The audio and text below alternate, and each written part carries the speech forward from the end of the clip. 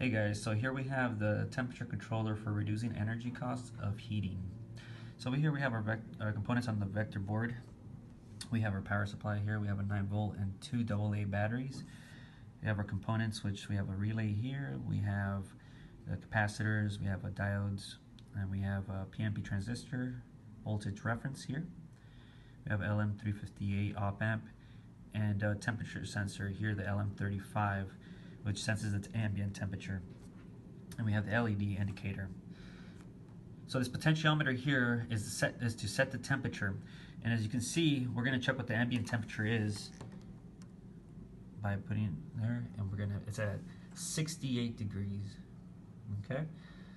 So now we're going to go to the voltage reference, which is what our temperature is set, which is 70, 71 somewhere around there. So that's what your what you set your temperature to, what you want it to be. So what happens, we're gonna have a blow dryer here, and we're gonna heat up the uh, temperature sensor, and the LED will turn on once it once it reaches a certain uh, the once it reaches the temperature uh, that we set it to. So here we go. Okay, so now the the LED turned on and that means that it's at the set temperature.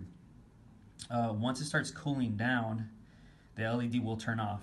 So how this works is that, so the LED is on right now. That means that it's at the set temperature. Once it goes below the, the set temperature, the light turns off, the relay energizing, energizes, uh, and, the, and then the relay is connected to a heater.